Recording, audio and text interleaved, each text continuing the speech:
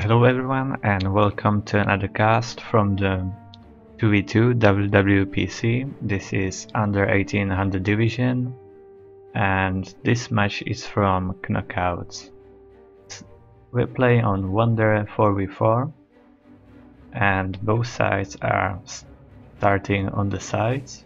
On the top we have Sir-Prize and Party Time, UEF and Cybran going against Clinch, Cybran and Silver Kronos UEF.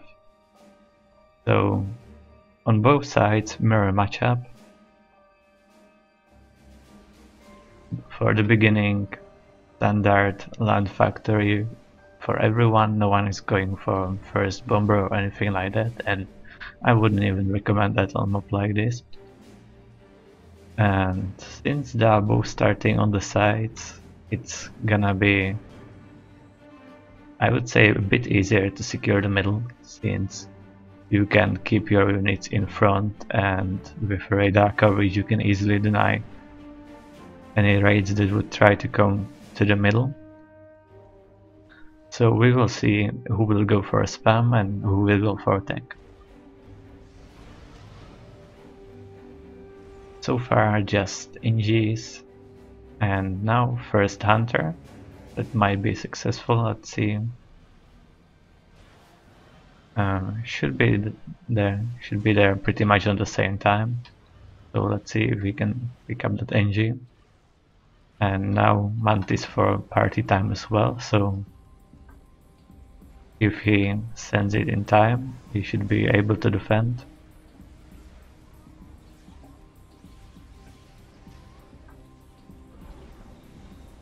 Okay, so second air, and then more land, and the Mantis should be in time, but now we do see some micro, so he is able to kill that engine, now he's going for another one. Let's see if he can get one as well. But if he gets too close, reclaim might happen. So nicely defended from party time. And everyone going second air. No one wants to be caught without any intis against early bombers. So now Sir-Prize have chance to kill few NGs. First kill.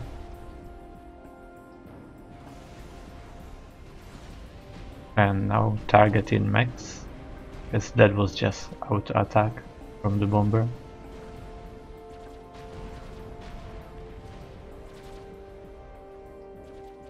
Meanwhile, Sir-Prize is really fast in going to the front to grab the reclaim. But since they have so much maxes and reclaim in the trees, I'm not sure if that gives you that big advantage. Also, you can just reclaim these two rocks and there is also a T2 tank, Rex, so that will give you enough mass to spam more factories early on and get the reclaim a bit later.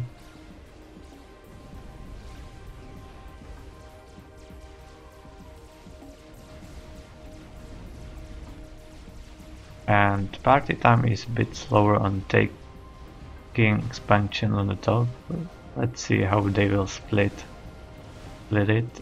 And successful tanks with 4 kills. So it looks like uh, the bottom team denied the middle expansion by tanks and the bot and the top team denied it by bombers. But there's still one NG left that this bomber could pick up. and that would be a much better choice than killing Maxes or this NG's building power would be also a great target. And instead of building that much power with 3 NGs, I think it would be better to send 2 NGs to these trees with attack move and reclaim it with the chunks and that would give you enough energy to to spend your mass either on T2 maxes, T2 factory or just T1 factories and heavy land spam. Because right now he is lacking on units, the bottom team is lacking on units so this raid might be very successful with this scout that will find any NGs and maxes that are already built. Let's see what they can. Yeah, and he's splitting his force, that's nice, so he's gonna raid. Maybe I would just send everything to the bag, I'm not sure. Because right now there are 5 factories, so he might be able to build enough units to save these maxes. And also he's just running around and not really killing the max. Maybe this mantis will finish it. Because right now the units are chasing it, so this mantis will first shoot at the units and then on the maxes, but looks like he's paying attention to that. So good for him. And picking up all the maxes, so very nice raid.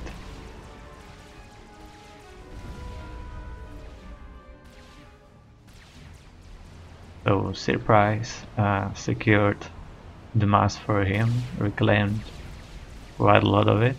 But now, he, for some reason, he's retreating with all his units. And right now, if Silver Kronos paid attention, he could do a lot of damage to Sir-Prize with his AC and all his units. So, so far, yeah, and this this tank is still alive 5 kills already. But looks like the rest of the units plus the bomber will solve that issue. But pretty much the same on the expansion. This one was raided, this one as well. Maybe a bit faster for party time to taking it. But he has problems elsewhere to take maxes. So uh, some radar in the front would be nice to know where to send units. Also since they have NGs in the middle one radar in the middle would solve any issues with intel.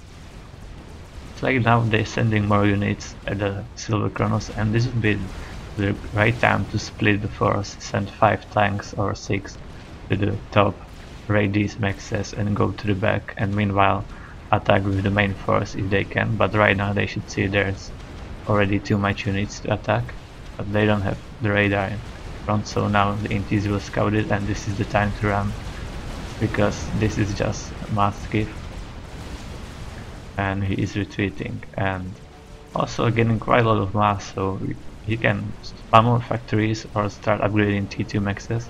He has T2 land already so some T2 NG for power or TML would be really nice at this point since uh, Silver Kronos is later on T2, so if he instead of T2 tanks went for really fast TML, he could deny any factory that Silver Kronos would try to upgrade to T2 and then kill, start killing all the maxes and pretty much everything. And only help for him would be T2 for clinch, but he's not even thinking about going T2 yet. So on this map, if and especially in this 2v2 if you're really fast on T2 you can get TML and you can get it quite easily since there's so many resources just lying around your base there's also T2 tank in the back and all the rocks trees so you have enough resources to put even 10 NGs to supporting the TML and if you rush it really fast your up your enemy will have just no chance you will one shot every factory he would try to upgrade, so with enough scouts you will deny the T2 from him. Also if he is on upgrade the ACU, you can easily deny it with one missile and if he tries it again he's dead. So he could decide the battle on the right side long time ago, but we don't know, maybe Sir-Prize doesn't like TMLs and it looks like he has a different idea to going straight for T3 but I think he needs a T2 PGen for that. Because once he run out of reclaim, I don't think he will have enough energy. And also, he didn't build any TMD, so if now Silver Kronos decides to do TML, for now he has no protection, and I'm not sure if he even got a T2 NG out. Okay, he has now, and going for PGen. But when you reach the T2, the first thing you should do is build TMD, then PGen. Just to be sure. that even later on when the enemy builds TML or wants to build you won't find yourself without having no TMD. And right now quite a lot of T1 spam for clinch and that can be easily defended with the units they both have and right now it's really bad idea to attack for a Sir-Prize when it's going to free. This is the time when he wants to stockpile all his units, defend and then attack later with T3 units. He don't want to waste units right now, he wants his opponents to attack him. And also since party time was also uh, faster on T2.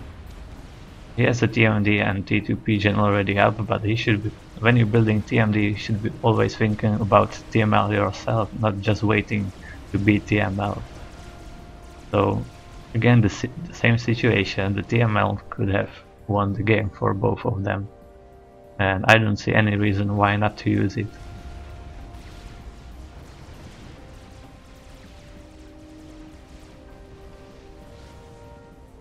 Okay, so both two expansions look like their price took the bottom one, meanwhile party time took the top, and I will build more factories here just to reclaim everything fast and with that amount of max you can afford a lot of T2 factories or a lot of T2 max.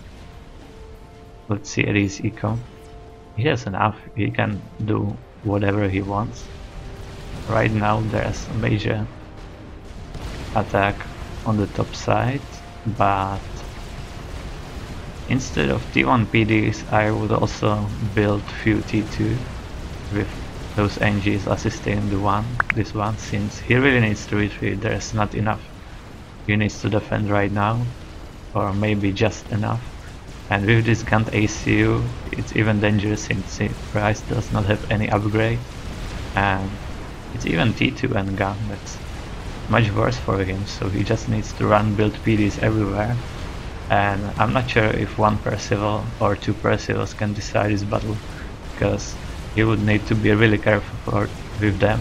Percivals do outrange Gant ACU, so if he micros properly, he can just kill the army and the ACU as well. But that's not exactly what he's doing, and yeah, the Percival just got insta overcharge and this is the end for Sir-Prize. So the strategy he wanted to do was nice but badly executed when he was attacking in the time when he was supposed to be defending since he was rushing tech T3 so he couldn't have enough units to attack and here at the bottom if also if you are against really heavy spam, just one ball will save you from any T1 spam, even from T2. Yeah, they were both rushing T3, but they could win the game with a T2 TML already. And well, now party time still has some chance with the T3 if he uses properly, but now he has the problem on the right side and he can't really send too many units there. Too many early T3 units. Because there's still the ACU with full health and T2 so it shouldn't be no problem for Silver Kronos to take this expansion and also he can just go T3 himself. But looks like he's not going for that yet. And right now they also have air advantage so uh, they can just start using bombers everywhere.